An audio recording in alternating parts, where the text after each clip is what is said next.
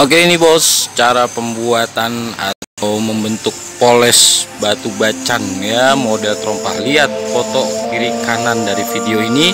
Dan simak juga videonya yang sedang berusaha memoles uh, model trompah khusus di batu bacan ya. Tingkat kesulitannya memang agak agak rumit bos ya. Jadi intinya tidak seperti halnya memoles batu cincin yang bentuk biasa ya. Moles model terompah itu sangat rumit sekali. Jadi apa-apa harus dicocokkan ke ringnya. Harus dicocokkan selalu ke ringnya. Selalu begitu ya bos ya. Simak terus dan lihat hasilnya. Oke Alhamdulillah akhirnya jadi juga bos ya. Dengan kondisi batunya sengaja dibuat tinggi ini pesanan ya. Karena bacanya memang sudah mahal dari lusturnya. Dan sengaja tidak dipapas menjadi ceper karena memang harganya sudah tinggi. Dan inilah hasilnya ya bos.